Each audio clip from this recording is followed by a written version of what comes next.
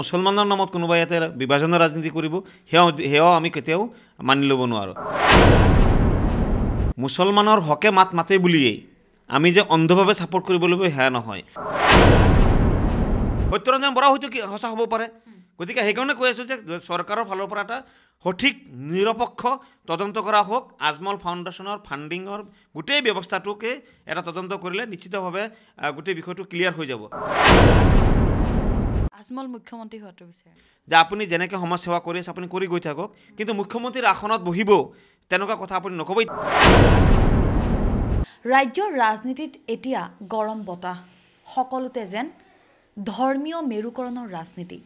আৰু মই বৰ্তমান উপস্থিত আছোঁ সদৌ অসম সংখ্যালঘু ছাত্ৰ ইউনিয়নৰ মুখ্য উপদেষ্টা আজিজুৰ ৰহমানৰ কাষত। আজিজুৰ ৰহমানৰ সৈতে আমি বিভিন্ন কথা পাতিম। কিন্তু প্ৰথমতে একেবাৰে পোনপটীয়া প্ৰশ্ন আপোনালৈ আজহাৰুদ্দিন ঐচি অসমলৈ আহিব বুলি ইতিমধ্যে বিভিন্ন বেনাৰ পোষ্টাৰ লাগিল। তেওঁ ক'লে নাহোঁ বুলি। যদি তেওঁ আহে কি হ'ব? প্ৰতিক্ৰিয়া কি? এই প্ৰথম প্ৰশ্নত কি প্ৰতিক্ৰিয়া দিব? চাওক আমি প্ৰথম কথা হৈছে যে ধৰ্মীয় ইছ্যুলৈ যিসকলে ৰাজনীতি কৰে আমি প্ৰত্যেককে বিৰোধ বিৰোধিতা কৰি আহিছোঁ। বিজেপি তেখেতসকলে উগ্ৰ হিন্দুত্ববাদৰ নামত ৰাজনীতি কৰি আছে। গতিকে আমি আৰম্ভণিৰ পৰা আজি এই মুহূৰ্তলৈকে আমি বিজেপিৰ বিৰোধিতা কৰি গৈ আছোঁ আৰু অনাগত দিনতো যেতিয়ালৈকে বিজেপিয়ে হিন্দুত্বৰ নামত উগ্ৰ হিন্দুত্বৰ নামত ৰাজনীতি কৰিব তেতিয়া আমি বিৰোধ কৰি গৈ থাকিম। অনুৰূপ ধৰণে আছাদুদ্দিন ঐচিয়ে সমগ্ৰ ভাৰতবৰ্ষতে তেখেতে উগ্ৰ মুছলমানবাদৰ নামত ৰাজনীতি কৰি গৈ আছে। গতিকে আমি তেনেকুৱা উগ্ৰ মুছলমানবাদৰ নামত যিসকলে ৰাজনীতি কৰে আমি তেখেতসকলৰো সমান সমানে বিৰোধিতা কৰি আছোঁ আৰু অনাগত দিনতো কৰি যাম। গতিকে আছাৰুদ্দিন ঐচি ডাঙৰীয়াই যিহেতু নিজে কৈ আছে তেওঁ অসমলৈ ৰাজনীতি কৰিবৰ কাৰণে নাহে। যদি নাহে তেতিয়াতো বহুত ভাল। আৰু যদি আহে তেতিয়াহ'লে আমি সদৌ অসম সংখ্যালঘু ছাত্ৰ ইউনিয়নে আমাৰ যিখিনি সামৰ্থ্য আছে গণতান্ত্ৰিকভাৱে আমি তেখেতসকলক প্ৰতিহত কৰিবৰ কাৰণে আমাৰ যিখিনি চেষ্টা আছে আমি সম্পূৰ্ণখিনি আমি উজাৰি দিম। কিয়? কিয় আপোনালোকে প্ৰতিহত কৰে? আজহাৰুদ্দিন ঐচিয়ে আপোনালোকৰ মুছলমানসকলৰ কাৰণে কথা কয় সংসদত তেওঁ সজোৰে মুছলমানৰ সপক্ষে কথা কয়। তেনেকুৱা এজন লোকক মুছলমানৰ যদি আপোনালোকৰ পৰাই যদি তেওঁলোকক যদি তেওঁলোকে ছাপৰ্টটো নাপায় কি কি কি কয় এই ক্ষেত্ৰত? চাওক আমাৰ অসমখন ভাৰতবৰ্ষৰ অন্যান্য ৰাজ্যতকৈ সাংঘাতিক ধৰণে পৃথক। এইখন দেশ শংকৰদেৱৰ দেশ মাধৱদেৱৰ দেশ আজান ফকীৰৰ দেশ। ইয়াতে বিভিন্ন জাতি ধৰ্মৰ লোকে আমি যুগ যুগ ধৰি মিলা প্ৰীতিৰে ভাতৃত্ববোধেৰে আমি বসবাস কৰি আছোঁ। হিন্দু মুছলমান খ্ৰীষ্টিয়ান বৌদ্ধিষ্ট জৈন কিমান ধৰ্মৰ লোক আমি অসমত বসবাস কৰি আছোঁ। মিনি ভাৰতবৰ্ষ। ইয়াতে আমি কোনো কাৰণতেই উগ্ৰ হিন্দুত্বৰ নামত বিভাজনৰ ৰাজনীতি কৰিবৰ কাৰণেও আমি কেতিয়াও তেখেতসকলক অনুমতি দিব নোৱাৰোঁ। ঠিক অনুৰূপ ধৰণে মুছলমানৰ নামত কোনোবাই ইয়াতে বিভাজনৰ ৰাজনীতি কৰিব সেয়াও সেয়াও আমি কেতিয়াও মানি ল'ব নোৱাৰোঁ। আছাদুদ্দিন ঐচি ডাঙৰীয়াই যিখিনি কাম কৰি আছে তেখেতে হায়দৰাবাদৰ ৰাজনীতি কৰি আছে বা অন্যান্য ৰাজ্যতো তেখেতে গৈ আছে আমাৰ তাতে ক'বলগীয়া একো নাই। কিন্তু আমাৰ ক'বলগীয়া আছে এইটো যে অসমত আহি যদি বিভাজনৰ ৰাজনীতি কৰে তেতিয়াহ'লে আমি ইয়াৰ বিৰোধিতা কৰি যাম। গতিকে মুছলমানৰ হকে মাত মাতে বুলিয়েই আমি যে অন্ধভাৱে ছাপৰ্ট কৰিব লাগিব সেয়া নহয়। মুছলমানৰ হকে মহাত্মা গান্ধীয়েও মাত মাতি গৈছে জৱাহৰলাল নেহৰুৱেও মাত মাতি গৈছে অসমৰো ইতিহাস আছে। ডক্টৰ ভূপেন হাজৰিকাই মুছলমানৰ হকে কেতিয়াও কথা কোৱা নাছিল নেকি? অম্বিকাগিৰি ৰায়চৌধুৰীয়ে কেতিয়াও কোৱা নাছিল নেকি? অসম সাহিত্য সভাই কি প্ৰতিনিধিত্ব নকৰে নেকি? গতিকে আমি বিচাৰোঁ যে এইখন দেশত আমি সকলোৱে মিলিজুলি চলিব লাগিব। ভাতৃত্ববোধেৰে আমি যেনেকৈ বসবাস কৰি আছোঁ এই ভাতৃত্ববোধ আমাৰ অক্ষুণ্ণ থাকিব লাগিব। ইতিমধ্যে বিগত পাঁচ বছৰত বিজেপিয়ে শাসনত অহাৰ পিছত অসমৰ বাতাবৰণ বহুত চেঞ্জ হৈ গৈছে। ইতিমধ্যে তেখেতসকলে হিন্দুৰ নামত মুছলমানৰ নামত বিভাজন এটা আনিবৰ কাৰণে তেখেতসকলে চেষ্টা কৰি আছে। কিছু কিছু পৰিমাণে তেখেতসকল সফলো হৈছে। আজি বহুত ঠাইত হিন্দুসকলে মুছলমানক মানে দেখিব নোৱাৰা হৈছে মুছলমানে হিন্দুসকলক দেখিব নোৱাৰা হৈছে বা ৰাজনৈতিক দলৰ যিসকল নেতা আজিৰ তাৰিখত অসমত অসমত কিন্তু তেনেধৰণৰ ক'তো একো ঘটনা ঘটা নাই হিন্দু মুছল হিন্দু মুছলমানৰ ক্ষেত্ৰত। আমি ক'ব লাগিব কিন্তু অসমৰ জনতা কিন্তু শান্তি সম্প্ৰীতি ভাতৃত্ববোধ তেওঁলোকে কিন্তু একেদৰে ৰাখি আছে। আমি অসমৰ জনসাধাৰণ সচেতন কাৰণে এতিয়ালৈকে আপুনি কোৱা মতে মানুহে বৰ্তাই ৰাখি আছে। কিন্তু বিজেপি আৰ এছ এছে সাংঘাতিক ধৰণে এটা অপচেষ্টা চলাই আছে কেনেকৈ বিভাজন কৰিব পৰা যায়।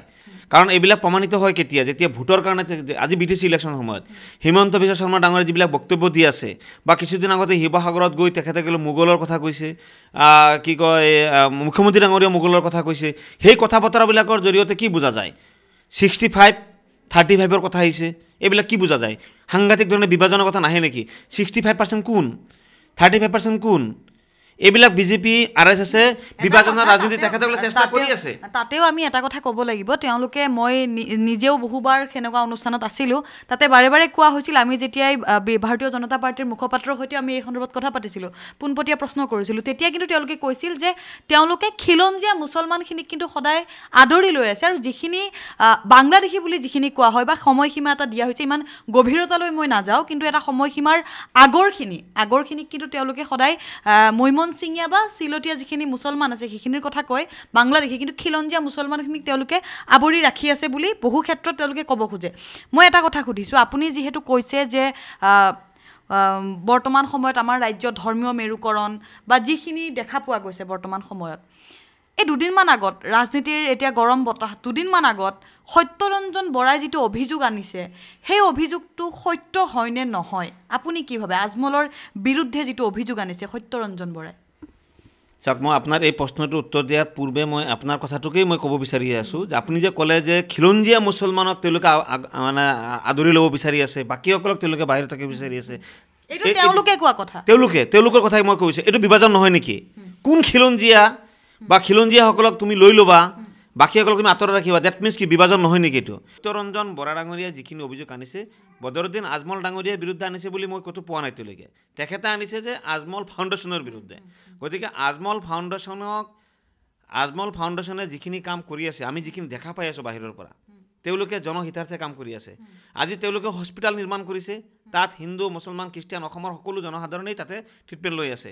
তেখেতসকলে শিক্ষানুষ্ঠান প্ৰতিষ্ঠা কৰিছে তাত সকলো সম্প্ৰদায়ৰ সকলো ধৰ্মৰ ছাত্ৰ ছাত্ৰীসকলে তাতে অধ্যয়ন কৰি আছে। গতিকে আমি নাভাবোঁ যে আজমল ফাউণ্ডেশ্যনে এনেকুৱা কোনো ধৰণৰ বেয়া কাম কৰি আছে বুলি আমি এতিয়ালৈকে দেখা নাই। যিখিনি কাম কৰি আছে সকলোখিনি কামেই জনহিতাৰ্থে কৰা যেন আমি আমি দেখা পাই আছোঁ। তেওঁলোকে বানপানীৰ সময়ত সাহাৰ্য দিয়ে তেওঁলোকে মানুহ যদি বিপদৰ পৰা সাহাৰ্য দিয়ে তেখেতসকলে এই লকডাউনৰ সময়তো সাংঘাতিক ধৰণে গোটেই অসমত তেওঁলোকে কি কয় সাহাৰ্য প্ৰদান কৰিছে। জাতি ধৰ্ম বৰ্ণৰ নিৰ্বিশেষে। আপুনি মনত পেলাব যে এগৰাকী শিখা নামৰ আমাৰ কি কয় ছোৱালী এগৰাকী সাংঘাতিক বেমাৰ এটা হৈছিলে।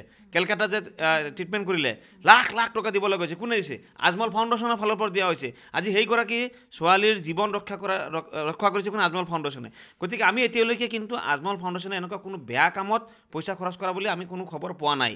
যদি আপোনালোকৰ হাতত ক'ৰবাত তথ্য আছে বা সত্যৰঞ্জন বৰাৰ হাতত যদি ক'ৰবাত তথ্য আছে সেইবিলাক ৰাজহুৱা কৰা উচিত। কিন্তু আমি এতিয়ালৈকে আজমল ফাউণ্ডেশ্যনে বেয়া কাম কৰিছে বুলি ক'তো পোৱা নাই এতিয়ালৈকে দেখাও নাই শুনাও নাই। গতিকে সত্যৰঞ্জন বৰা ডাঙৰীয়া আজমল ফাউণ্ডেশ্যনৰ বিৰুদ্ধে যিবিলাক অভিযোগ আনিছে এইবিলাক আমি ভাবোঁ যে এইবিলাক সময়টো চাব কেতিয়া আনিছে। একৈছৰ বিধানসভা নিৰ্বাচনৰ প্ৰাক মুহূৰ্তত। আৰু যি সময়ত মানে সমগ্ৰ অসমৰ জনসাধাৰণে এতিয়া চিন্তা চৰ্চা চলাই আছে যে আমি এই- এইবাৰ বিজেপি দলক উৎখাত কৰিব লাগিব। সেই সময়ত তেওঁ এনেকুৱা এটা অভিযোগ আনি পিনি জনমানসত আজমল ফাউণ্ডেশ্যনক সেৱা প্ৰতিপন্ন কৰিব এটা চেষ্টা- কৰি আছে। মই আজমল ফাউণ্ডেশ্যনৰ কোনো মুখপাত্ৰ নহয় মই এইটো ক্লিয়াৰ কৰি দি আছোঁ। কিন্তু তেখেতসকলৰ যিবিলাক জন জনহিতাৰ্থ কৰি থকা কাম এই কামখিনিত আপুনি মই সকলোৱে স্বীকাৰ কৰিব লাগিব। গতিকে মই কেন্দ্ৰীয় চৰকাৰক ৰাজ্য চৰকাৰক আমি দাবী কৰোঁ যে সত্যৰঞ্জন বৰাই যিখিনি অভিযোগ উত্থাপিত কৰিছে আৰু আমি যিমান দূৰ জানো যে এইবিলাক ফাণ্ডিংবিলাক যিবিলাক হয় গোটেই ফাণ্ডিংবিলাক কেন্দ্ৰীয় চৰকাৰৰ বিভাগৰ জৰিয়তেহে আহে। অসম চৰকাৰৰ বিভাগৰ জৰিয়তেহে আহে। গতিকে বিভাগসমূহে যিবিলাক বিভাগৰ জৰিয়তে ফাণ্ডিংসমূহ আহে বিদেশৰ পৰা সেই বিভাগসমূহে এইটো তদন্ত কৰা উচিত। সত্যৰঞ্জন বৰাৰ অভিযোগসমূহ তদন্ত কৰক। আৰু যিমান দূৰ আমি আপোনালোকৰ মিডিয়াৰ জৰিয়তে দেখা পাইছোঁ বদৰুদ্দিন আজমল ডাঙৰীয়া বা তেখেতসকলৰ ফাউণ্ডেশ্যনৰ ব্যক্তিসকলে প্ৰত্যাহ্বান জনাইছে যে যদি আমাৰ ভুল হৈ আছে বা আমি ক'ৰবাত অন্যায় কাম কৰিছোঁ বা এনেকুৱা ধৰণৰ ফাণ্ডিং মিছ ইউজ হৈ আছে বা হিচাপ নিকাচ সঠিকভাৱে হোৱা নাই তেতিয়াহ'লে তেওঁলোকে কি কয় তদন্তৰ মুখামুখি হ'বলৈ প্ৰস্তুত আছে। গতিকে আমিও বিচাৰিছোঁ যে চৰকাৰে এইটো তদন্ত কৰক। তদন্ত কৰি যিটো সঁচা কথা সঁচা কথাখিনি ৰাজহুৱা কৰি দিয়া উচিত। মানুহৰ মনত এটা ভুল বাৰ্তা যিটো সত্যৰঞ্জন বৰা ডাঙৰীয়াই দি আছে সেইটো ক্লিয়াৰ হৈ যাব লাগে। সত্যৰঞ্জন বৰা হয়তো সঁচা হ'ব পাৰে। গতিকে সেইকাৰণে কৈ আছোঁ যে চৰকাৰৰ ফালৰ পৰা এটা সঠিক নিৰপেক্ষ তদন্ত কৰা হওক আজমল ফাউণ্ডেশ্যনৰ ফাণ্ডিঙৰ গোটেই ব্যৱস্থাটোকে এটা তদন্ত কৰিলে নিশ্চিতভাৱে গোটেই বিষয়টো ক্লিয়াৰ হৈ যাব। গতিকে আমি বিচাৰোঁ যে জনহিতাৰ্থে যিবিলাক কাম হৈ আছে এই কামখিনিত যাতে কোনো কাৰণতে বাধা সৃষ্টি হ'ব হ'ব নালাগে। কাৰণ আৰু আৰু আজমল ফাউণ্ডেশ্যনে নহয় অসমত বহুত ফাউণ্ডেশ্যন আছে। কিন্তু আজমল ফাউণ্ডেশ্যনে যিমানখিনি কাম কৰি আছে সিমান পৰ্যায়ৰ কামটো অন্য অন্য ফাউণ্ডেশ্যনে কৰি থকা নাই। বহুতে কৰি আছে কিন্তু ইমান পৰ্যায়লৈকে গৈ শিক্ষাৰ থকা ক্ষেত্ৰত হওক বা চিকিৎসাৰ ক্ষেত্ৰত হওক আজমল ফাউণ্ডেশ্যনে যথেষ্ট কাম কৰি আছে আৰু এই মুহূৰ্তত সকলোৱে বিচাৰিছে যদিহে আজমল ফাউণ্ডেশ্যনৰ বিৰুদ্ধে ইমানখিনি এটা তেওঁৰ হাতত তথ্য আছে তেতিয়াহ'লে হয়তো সেয়া আইনী ব্যৱস্থা বা আমাৰ আইন আছে আদালত আছে ন্যায়ালয়ে সেয়া ব্যৱস্থা কৰিব। কিন্তু কিছু মুহূৰ্তৰ আগতে মই পীযুষ হাজৰিকাৰ এটা মন্তব্য লৈছিলোঁ আৰু পীযুষ হাজৰিকাই এটা মন্তব্য কৰিছিল যে আজমলৰ কান্ধত বন্দুক থৈ বন্দুক ৰাখি অসমত অছামা বিন লাডেনৰ জন্ম হ'বলৈ গৈ আছে। কি কয়? এইবিলাক চব হৈছে অমূলক কথা অৰ্থহীন কথা। কোন ওচমা বিন লাডেন অসমত জন্ম হৈছে? মই মন্ত্ৰী ডাঙৰীয়াক পীযুষ হাজৰিকা ডাঙৰীয়াক প্ৰত্যাহ্বান জনাইছোঁ যে আপুনি শাসনত বহি থাকি এনেকুৱা দুৰ্বল কথা এনেকুৱা ৰাইজক বিভ্ৰান্তি কৰিব পৰা কথা আপুনি কিয় কৈ আছে? আপোনাৰ যদি সঁচা অৰ্থত অসম অসম আৰু অসমীয়া জাতিক যদি আপুনি সঁচা অৰ্থত ভাল পায় তেতিয়াহ'লে আপুনি মোৰ চেলেঞ্জ গ্ৰহণ কৰক আৰু অহা এসপ্তাহৰ ভিতৰত আপুনি কৈ দিয়ক যে আচলতে আজমল ডাঙৰীয়াৰ কান্ধত ধৰিয়েই হওক বা অসমত থকা ধৰ্মীয় সংখ্যালঘু মুছলমানসকলৰ মাজত কোনজন ওচামা বিন লাডেনৰ জন্ম হৈছে আপুনি ৰাজহুৱা কৰক। কিন্তু আপুনি এনেই মানুহৰ মাজত বিভাজন সৃষ্টি কৰিবৰ কাৰণে বিভ্ৰান্তি সৃষ্টি কৰিবৰ কাৰণে মানুহৰ মাজত ভুল বাৰ্তা দিবৰ কাৰণে মুছলমান সমাজক আপুনি মানে ঘৃণাৰ চকুৰে ৰাইজে দেখক তেনেকুৱা এটা পৰিৱেশ সূচনা কৰিবৰ কাৰণে আপুনি এনেকুৱা ধৰণৰ মন্তব্য দিয়াটো উচিত হৈ থকা নাই। দুৰ্ভাগ্যজনক কথা এইটো। মন্ত্ৰীৰ আসনত বহি মন্ত্ৰীয়ে যেতিয়া শপত গ্ৰহণ কৰিছিলে সংবিধানৰ নামত শপত গ্ৰহণ কৰিছে সকলো জাতি জনগোষ্ঠীৰ হৈ তেখেতে কাম কৰিব বুলি তেওঁ শপত গ্ৰহণ কৰিছিলে। আৰু সেই তেনেকুৱা এটা- আসনত বহি পীযুষ হাজৰিকাৰ দৰে এজন মন্ত্ৰীয়ে এনেকুৱা ধৰণৰ মন্তব্য দিয়াটো সাংঘাতিক ধৰণৰ দুৰ্ভাগ্যজনক। আৰু আমি গৰিহণা দিছোঁ আমি তেখেতক সকীয়াই দিছোঁ যে তেখেতে যাতে দ্বিতীয়বাৰ এনেকুৱা ধৰণৰ কথা নকয়। কাৰণ আজিৰ তাৰিখত অসমত বসবাস কৰা প্ৰতিজন সংখ্যালঘু মুছলমান সমাজে অসমখনক পীযুষ হাজৰিকা হাজৰিকা দেৱতকৈ বহুত বেছি পৰিমাণে ভাল পায়। ইয়াতে কোনো ওচামা বিন লাডেনৰ স্থান নাই কোনো ধৰণৰ অন্য অন্য কি কয় বেয়া কৰ্মত কৰি লিপ্ত থকা মানুহৰ এটা স্থান নাই। কোনো মুছলমান সমাজে কোনো সংখ্যালঘু সমাজে তেওঁলোকক কোনো কাৰণতে আশ্ৰয় নিদিয়ে। আৰু ক'ৰবাত যদি পীযুষ হাজৰিকাদেৱে কোৱাৰ দৰে তেখেতৰ যদি ক'ৰবাত যদি এনেকুৱা ধৰণৰ খবৰ আছে তেওঁ ৰাজহুৱা কৰি দিয়ক। আৰু অসমৰ ধৰ্মীয় সংখ্যালঘু মুছলমান সমাজেই সেই তেনেকুৱা ব্যক্তিক কৰায়ত্ব কৰি চৰকাৰৰ হাতত গতাই দিব। আজমল মুখ্যমন্ত্ৰী হোৱাটো বিচাৰে। চাওক সাংবিধানিকভাৱে আজমল মুখ্যমন্ত্ৰী হোৱাত কোনো ধৰণৰ বাধা নাই। ভাৰতীয় নাগৰিক আপুনিও মুখ্যমন্ত্ৰী হ'ব। যদি আপোনাক যদি নিৰ্বাচিত বিধায়কসকলে নিৰ্বাচন কৰে মুখ্যমন্ত্ৰী হিচাপে আপুনিও হ'ব পাৰিব। আজমল ডাঙৰীয়াকো যদি নিৰ্বাচিত কৰে হোৱাত কোনো বাধা নাই। কিন্তু আমি? কিন্তু আমি ক'ব বিচাৰিছোঁ যে বদৰুদ্দিন আজমল ডাঙৰীয়াই আজি এই মুহূৰ্তত কোনো কাৰণতেই মুখ্যমন্ত্ৰীৰ আসনৰ ফালে তেওঁ চকু দিব নালাগে। এইকাৰণে চকু দিব নালাগে কাৰণ বিজেপি আৰু আৰ এছ এছে সদায় বিচাৰি আছে যে তেওঁলোকে কেনেকৈ বিভাজনৰ ৰাজনীতি কৰিব পাৰে। আজমল আজমল ডাঙৰীয়াই ক'ত সাম্প্ৰদায়িক কাম কৰি আছে? কিন্তু আজমল ডাঙৰীয়াক এনেকুৱাকৈ প্ৰজেক্ট কৰা হয় আৰু একাংশ সংবাদ মাধ্যমেও কৰে যে তেওঁ যেনিবা সাংঘাতিক ধৰণে এজন মানে সাম্প্ৰদায়িক এজন মানে অসমখন ধ্বংস কৰিব পৰাকৈ এজন ব্যক্তি। কিন্তু আমিতো এতিয়ালৈকে তেনেকুৱা কাম কৰ্ম দেখা নাই। গতিকে আমি আমি আজমল ডাঙৰীয়াক ক'ব বিচাৰিছোঁ যে আপুনি যেনেকৈ সমাজ সেৱা কৰি আছে আপুনি কৰি গৈ থাকক। কিন্তু মুখ্যমন্ত্ৰীৰ আসনত বহিব তেনেকুৱা কথা আপুনি নক'ব। ইতিমধ্যে তেখেতেও নিজেও কৈছে যে তেখেতে মুখ্যমন্ত্ৰী আসনত নবহে বা মুখ্যমন্ত্ৰী আসনৰ প্ৰতি তেখেতৰ কোনো লালা মানে কি কয় লালসা নাই।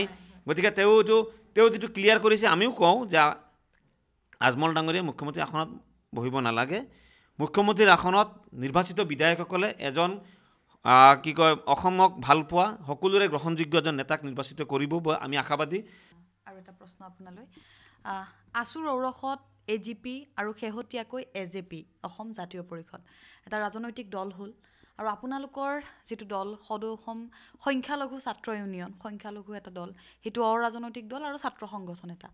যিহেতু আছুৰ ঔৰসত এ জে পি আহিল আপোনালোকেও কিবা ৰাজনৈতিক দল বা কাৰোবাৰ কোনোবা এটা দলক আপোনালোকে এইবাৰ নিৰ্বাচনত ছাপৰ্ট কৰিব নেকি? কি কয় এই ক্ষেত্ৰত? চাওক আমি সদৌ অসম সংখ্যালঘু ছাত্ৰ ইউনিয়নে ইতিমধ্যে বহুবাৰ আমি ক্লিয়াৰ কৰিছোঁ যে আমি কোনো নতুন ৰাজনৈতিক দল গঠন কৰিব নাযাওঁ। যিখিনি দল অসমত বৰ্তি আছে সেই দলসমূহক আমি পৰ্যবেক্ষণ কৰি আছোঁ। আমি পৰ্যবেক্ষণ কৰি আছোঁ। আমি সূক্ষ্মভাৱে পৰ্যবেক্ষণ কৰি আছোঁ। কোন দলে? প্ৰকৃতাৰ্থত অসম আৰু অসমীয়া জাতিক অনাগত দিনক শুদ্ধভাৱে প্ৰতিনিধিত্ব কৰিব পাৰিব। আমি সেইটো পৰ্যবেক্ষণ কৰিছোঁ। Number one number two BJP আৰু আৰ এছ এছৰ যি বিভাজনৰ ৰাজনীতি এই ৰাজনীতিক প্ৰতিহত কৰিব পৰাকৈ কোন দলে শক্তি আহৰণ কৰিব পাৰিব? গতিকে আপুনি যিটো মোক প্ৰশ্ন কৰিছিলে যে আমি তিনি নম্বৰত কৈছোঁ যে ধৰ্মীয় আৰু ভাষিক সংখ্যালঘুৰ মৌলিক সমস্যাসমূহ যিসকলে সমাধান কৰিবৰ কাৰণে আগবাঢ়িব আমি সেই- সেইখিনি কথাও আমি পৰ্যবেক্ষণ কৰি আছোঁ। বহুতে আমাক পূৰ্বতে বহুত আশ্বাস দি বহুতবাৰ বিভিন্ন দলক আমি চৰকাৰ বনাব দিছিলোঁ সুযোগ দিছিলোঁ। Congress A G P Janata Dal কিন্তু আমাৰ মৌলিক সমস্যা সমাধান হোৱা নাই। গতিকে এইবাৰ আমি সূক্ষ্মভাৱে পৰ্যবেক্ষণ কৰি আছোঁ। গোটেইখিনি পৰ্যবেক্ষণ কৰাৰ পিছত আমি আমাৰ আমাৰ আমচুৰ কেন্দ্ৰীয় সমিতিৰ আমি সাধাৰণ সভা অনুষ্ঠিত কৰিম।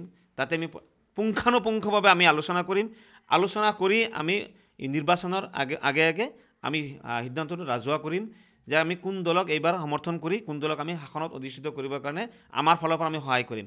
যদিও আমি অৰাজনৈতিক ছাত্ৰ সংগঠন বা সামাজিক সংগঠন এইবাৰ নিৰ্বাচনত আমি সিদ্ধান্ত গ্ৰহণ কৰি এইবাৰ কোনোবা নহয় কোনোবা পলিটিকেল পাৰ্টিক আমি সমৰ্থন কৰি বিজেপি আৰু হিন্দুত্ববাদৰ এই মানে চৰকাৰক বিভাজনকামী এই চৰকাৰক অসম আৰু অসমীয়া জাত জাতিৰ আৱেগক যিসকলে ভুলণ্ঠিত কৰি ভৰিৰে গচকিত যিসকলে কাম কৰি গৈ আছে সেই তেনেকুৱা চৰকাৰক প্ৰতিহত কৰাৰ স্বাৰ্থত আমি কোনোবা নহয় কোনোবা এটা ৰাজনৈতিক দলক সময়ত আমি সমৰ্থন আগবঢ়াম আমি ফিল্ডতো আমি ৰাইজৰ ৰাইজৰ লগত আমি মত বিনিময় কৰি সেই সময়ত আমি ভোট প্ৰদান কৰিবৰ কাৰণে আমি আহ্বান জনাম।